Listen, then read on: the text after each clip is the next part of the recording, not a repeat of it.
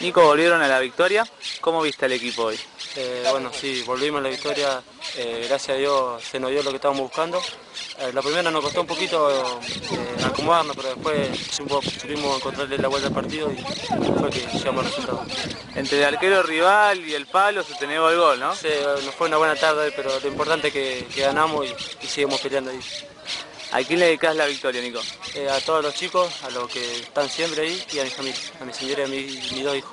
Felicitaciones, Nico, y éxitos para lo que queda. Bueno, gracias. Deus também.